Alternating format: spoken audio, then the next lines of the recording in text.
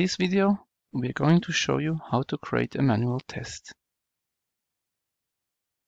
Go and click on the Home button. Then click on Quality module. What you will see now is a few tabs, one overview with some reports, one application modules, one tests, one features, and one defects.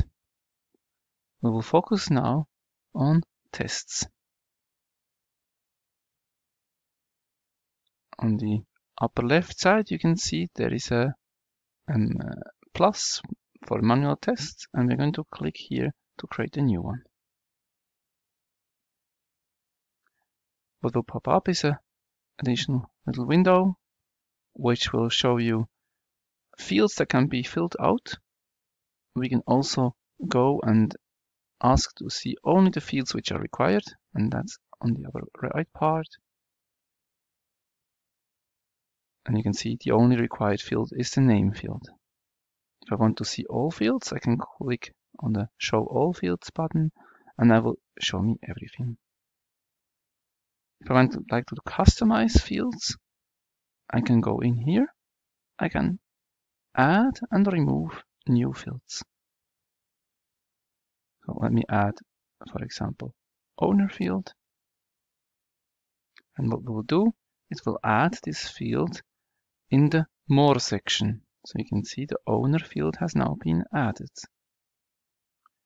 As you can see, there are groupings which we can collapse to see with less and just use with what or display what we use.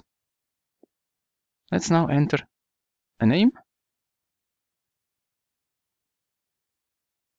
for this test, manual test, login to application. So we're going to test the login. I have a possibility to create or define a test type. I can also add additional test types if not everything can be found in the list that you see here. We have the duration, which we can add uh, how long such a test would take. I can now also define, define which um, requirement or user story, defect, feature is linked to that. This can also cover several user stories or features. And you can see I can click here and add some.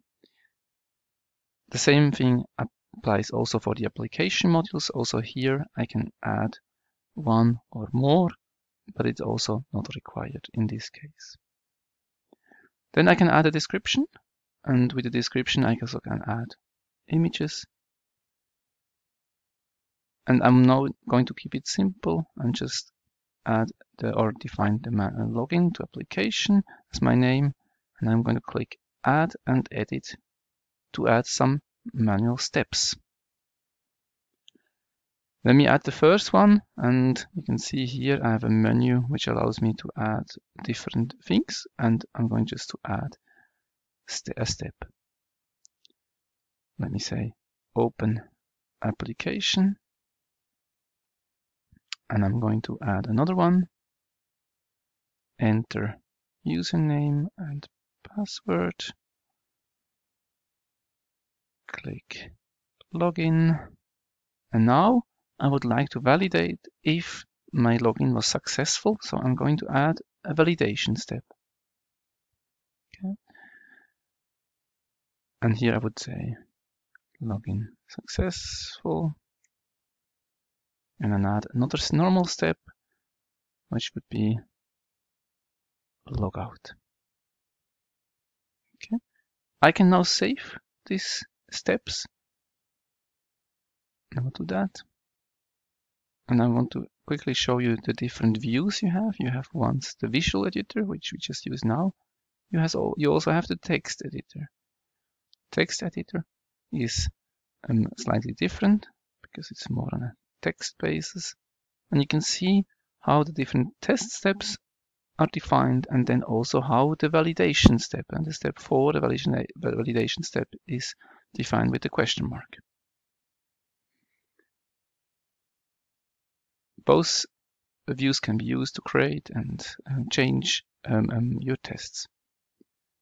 I'm switching back to the visual editor and I want to quickly um, now show you one feature of the versions and that's here and you can see I have different revisions of what was done and if I now add one little step add step say close application and save that again you will see that Octane is storing the changes and I can even have a compare view of that so you can see the difference between my um, revision 2 and my revision 3 To execute and run and plan tests, we're going to have another video. Thanks for listening.